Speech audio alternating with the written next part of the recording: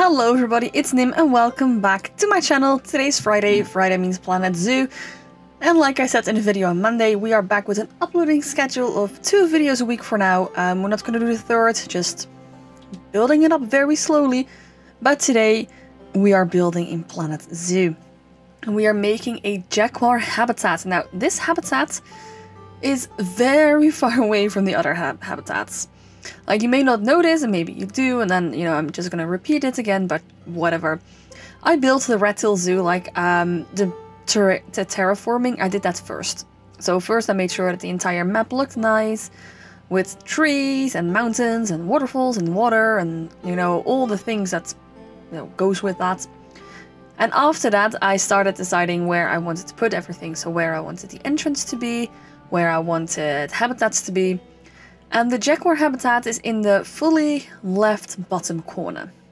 It is quite far away. Um, I believe that in the cinematics at the end you will be able to see exactly how far away it is and in some shots in this video itself as well. So don't worry, there will be a lot of things in between the jaguar habitat and the closest thing to the jaguar habitat at the moment is the red panda habitat and that's quite far away, but there will be stuff in there. The pathways will, um, without a doubt, change because they're very straight at the moment. And that's not something that I wanted for this zoo. I wanted to very natural, swirly streets, you know, the entire works. So, we are doing that. Well, at the moment we're not doing that, like the very straight. We are going to change that. Now, this jaguar habitat, um, I've doubted for a long time what I wanted to build, how I wanted to build it, and I decided to build this little, I don't know how to call it, like this little house where the keeper's hut is actually in, and like the keepers can access through there. So it will just be a little bit more sheltered. And then now I wanted to do an all natural rock uh, barrier and wall Unfortunately, jaguars are ridiculously good at climbing, so that was not gonna happen. Basically just because of the fact that they keep climbing on the rocks and escaping. So in the end, unfortunately, I did have to use a real barrier, but you know, it is what it is. And it still looks fine. I mean, it's probably more realistic because jaguars are pretty dangerous animals, so you probably want them to have a real barrier. And here we are making this little well, I mean not little, we are making a quite big viewing space. This viewing area will have multiple levels and it will oversee multiple areas, so there will be a animal there. I don't know which one yet. If you have an idea, let me know in the comments down below. But for this video, we are focusing on the actual jaguar. Now, what I wanted to do here, because it is quite unsafe to have like uh, no railing here, because then you could just fall into the jaguar um, habitat and get eaten. And we don't want that for our guest. I mean, I know I won't. It would be funny, perhaps. But if you're thinking like, um, I wanted it to be a pretty realistic zoo, it most definitely would not be funny and it would probably mean that the zoo had to be closed. So we are not doing that. We are keeping it mellow and we are making sure that there is actually a good safety well, safety way or safe way to do that. By doing that, we are actually using these custom barriers, and it kind of feels like you're in a cage, but that's the meaning of it. I mean, like, I, I truly believe like I, I intended that. And it may look a little bit weird now, but we are going to nicen it up with some uh, floral aspects. Plus the wall that I'm closing off now here completely uh, will reopen again. Because I wanted to have a monorail in the zoo and I want the monorail to go past the jaguar habitat and so we needed the station here and you know we did. And I'm actually quite pleased what it is. Like we haven't built the station yet, but we are going to. And it's going to be like across from here, so on the other side. And I feel like that will perfect will work perfectly fine. I hope at least. I really hope, but you know what? Who, who, who cares in the end? It is my zoo, and if it doesn't work, I'll just think of something to make it work because that's what we're good at. The Planet Zoo community is pretending stuff isn't that bad and just fixing it ourselves. I really feel like that's what the community is really good at. And that's like not a that's not me bashing, that's me like being honest about the community because I really think that's quite a good quality. So there you see me just like smallly perfecting it. We are gonna cut away now because I did want to show you guys how I did it, so that's why I left this in. Normally I would have cut it out. But I, I don't really know if anyone has ever done something like this before. At least I haven't seen it, so I felt really original. And I was like, you know what? Yeah, I'm, I'm totally gonna show this to you guys because I'm feeling really original with this idea. So just so you know, um, the bottom one, because we are doing a similar thing on the bottom platform, that won't be so, um, at least I didn't think I put it in like that extravagance. That's a little bit shorter, I believe. Ah, yes, and here we are doing the same thing what we did at the night, uh, night house. The nocturnal house, I should say. I believe that's the English word for that. And we are actually making this little pathway because again, there are no railings here because I didn't want to use the uh, custom railings from the from the game.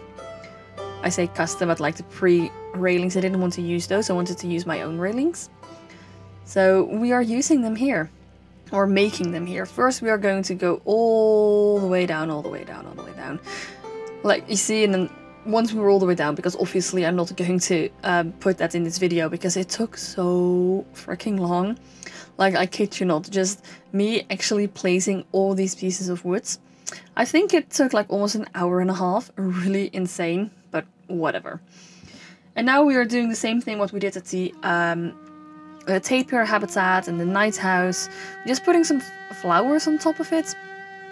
Just to make it look a little bit more fun. Because otherwise it can feel really static and really... Um, I don't know really how to explain it, but it feels really like you're trapped, really claustrophobic, claustrophobic, something like that. And I didn't want that, so obviously we are going to put flowers there and making sure that it looks happy and cheerful and actually really nice. And I'm actually quite proud of the way that it looks. Now you will see me place not not placing any flowers in the middle that's because right there we are creating a skylight. So in a few minutes, I believe I'm, we are going to delete the actual beams there. And we are going to put a big glass roof there just to make sure that if it's raining, you can still stand dry here because it's not fun if it's raining and everything's dripping on you. And I feel like with these all these flowers here and these plants, that is probably something that is going to happen. Because, you know, the flower, the, the rain will just go through the flowers and it just dripping on you. I don't think that's going to be that comfortable, so hence the glass area. You see me removing all the shelves, like there were a lot of shelves stuffed together. I feel like this part here is really big on the piece count of the entire zoo, which, you know, is perhaps kind of tragic, but on the other hand, eh. And here we are making sure that the edges of the pathways look nice, because you don't want those concrete the entire zoo is like floral and everything, so you want to have some floral pieces there. And we are mixing it up, like we are using uh, the same plants, but you have like three or four different shapes of plants in here. We are rotating them slightly ever so much, uh, just to make sure that it looks nice. And now we are actually putting the real railing in there because you need to have that, otherwise uh, children or people can still jump out of that, and we don't want that. So we are doing that all the way around. And that took quite some haggling because there are a lot of annoying corners in there. And I just didn't want to deal with that. Like all these corners, man, so annoying. But we've dealt with it and we've conquered it. And it looks pretty fine. I mean, I have to say I really like this. If this was in a zoo, I would totally walk like three times up and down just because it looks so pretty. Or perhaps um, the fear of spiders would lead me to not walk there because there's probably gonna fall a spider on my head.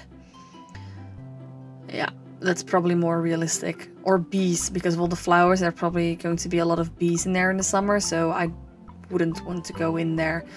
Because for some reason I always get attacked by bees, like every holiday they're after me and I don't know why. Because uh, in holidays I don't wear perfume because I know that bees are attracted to that, so no thank you. I don't wear any colorful outfits because I, like they say, animals are attracted to that. I'm pretty sure bees and wasps are colorblind, but I'm not sure. So I just don't want any buzzing animals near me, so that's why I don't, why I'm so pale because I usually don't go outside in the summer.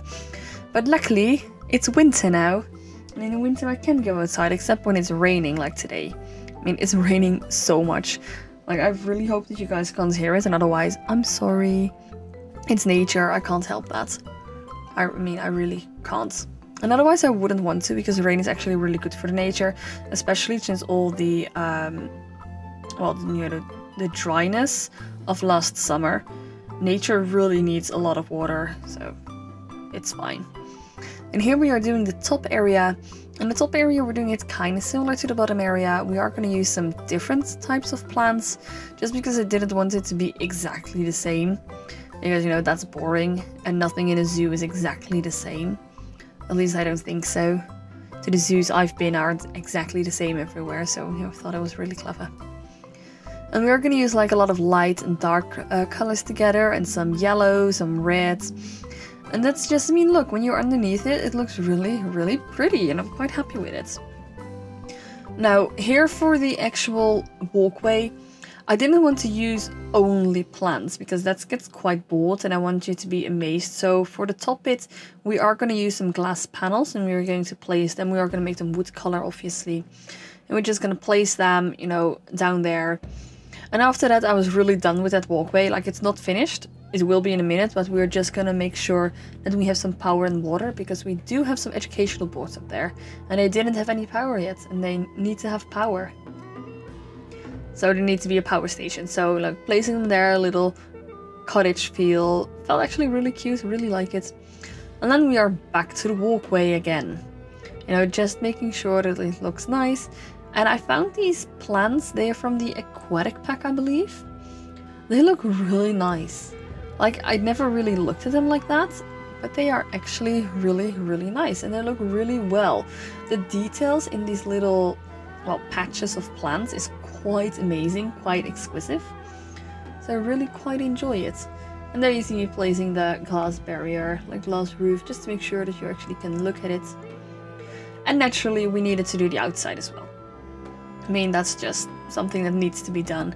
So a lot of rock work, and I, you know, you can just paint with the rock paints of the terrain paints, but never use only terrain paint. Use real rocks because in real life, rocks are, you know, they, they stick out. They have different shapes, different textures. It's not just all rock paint. And I have found that especially the tropical biome fits in really well and I don't, that's probably to do, I think the terrain paint is a little bit different in each biome, but I'm not exactly sure, but I have a feeling that it might be, because it fits so perfectly, and otherwise it's really, really lucky. And here we are just filling in all the little, you know, pieces. You don't want to have something that's kind of look like there aren't any plants. Because especially in the beginning of the zoo, there is a lot of foliage and it is really really high density of plants. And I wanted to do that everywhere in the zoo. Now I have run with the issue that um, sometimes my screen will freeze. And that's probably because there are so many objects in one place. Especially with plants, because I tend to rotate um, the same plants four times on top of each other. Just to make sure that it looks like a really nice and heavy plant. And you know, perhaps I shouldn't do that, but otherwise it just looks pretty bland and boring. And I don't want to have a boring zoo. I want to have a zoo where you walk in and you're like, wow, I'm actually in the rainforest. This is crazy. I mean, I'm talking about the rainforest zoo. In the first beginnings, I was so, so convinced that it was going to be an, uh, an Asia themed zoo. And I did not do that at all. It's because I love foliage so much. And back then, when I started the zoo, which is like, this is episode 8, 9, 10, 10 I think. So around 10 weeks ago, I wasn't really into building in Planet Zoo. But then I started playing Planet Coaster, and I was like, oh, you can actually build entire buildings here. I could probably do that in Planet Zoo as well, I never thought of that.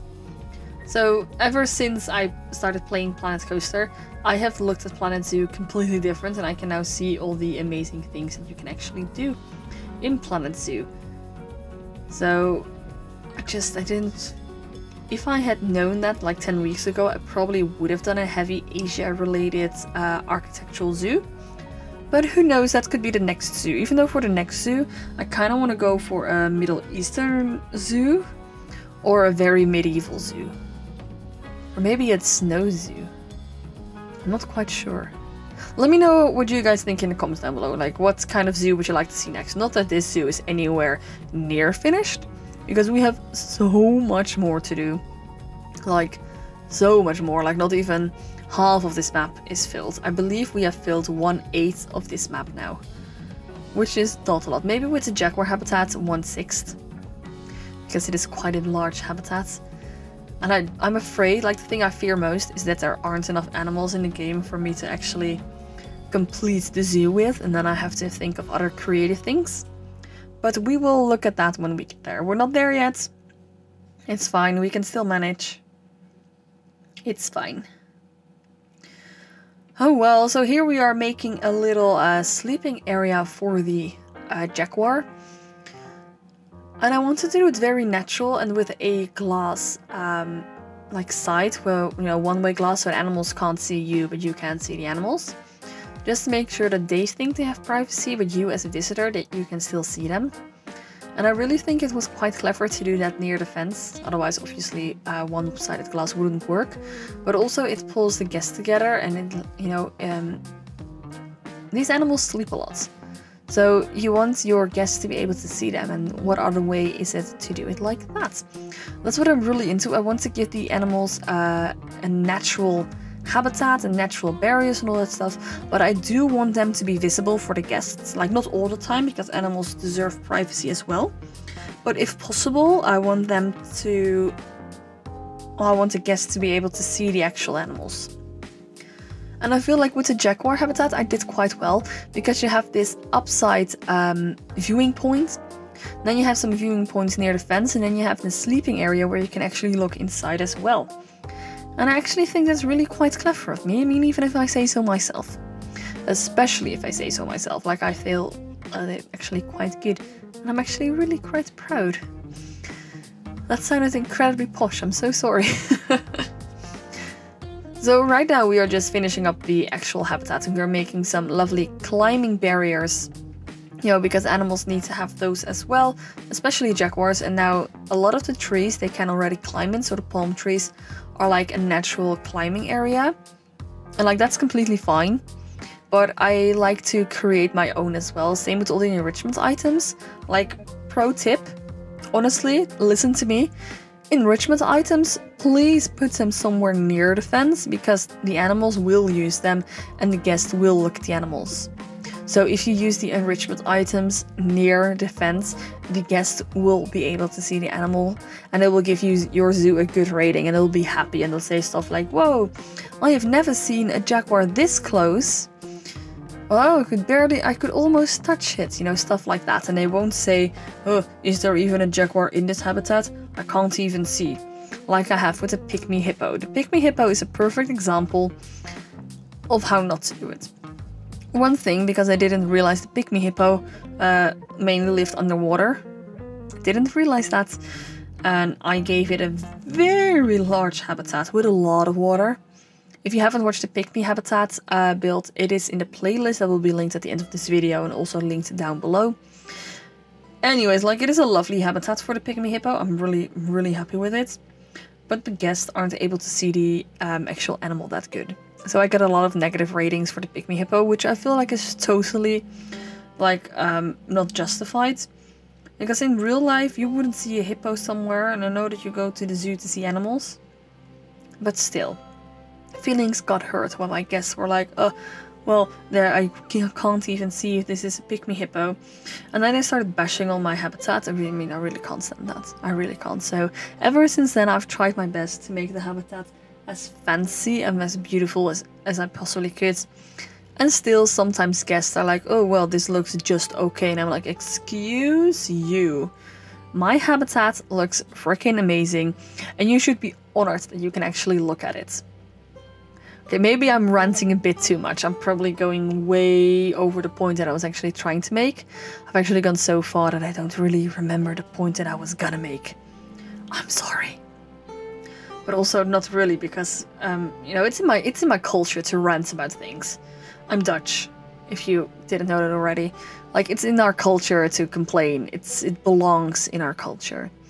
And that's not like me saying that because I like to complain.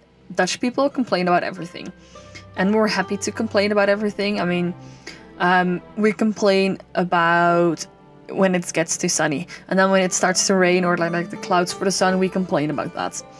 And I know that other people of other countries they complain as well, But the Dutch are like we're mastering complaining. Because if you haven't, if you've got any Dutch friends um, and you're not Dutch yourself, ask them. They can confirm this. And if you're Dutch yourself, well, you know what I'm talking about. We love complaining, and we're proud of it, and that's fine. I mean, that's we're very critical people, and that's completely fine. I mean, being critical is what got me really far in life, and you should always ask questions because you know thinking is very important. Anyway, okay, I'm not going into a complete complete rant about why thinking for yourself and being critical is important because we simply don't have time for that. We could do that some other time, but not now. For now, we are coming to the end of this video. We have about, I think, half a minute or something left. And I will let you enjoy the cinematics after that. So before I go, I want to thank you guys for watching. And if you haven't already, make sure you like, comment and subscribe to the channel. And I know I say this every video, but it really helps the YouTube algorithm. YouTube works the way that if a lot of people like something and they press like, it shows the video to a lot more people. So I want to grow my channel I'm gonna need your help. So it's really just, it's not really a, a, a, big thing to do. Just press the thumbs up. That's it. You know, hit the bell icon if you haven't already, and that's it. So that's all you need to do. I don't think really that that's much, and I, want to thank you for doing that if you have already. And if you haven't, you still have a few seconds before the video ends. Anyways, guys, I wish you a very good afternoon, morning, wherever you are, and enjoy the cinematics. Bye, guys.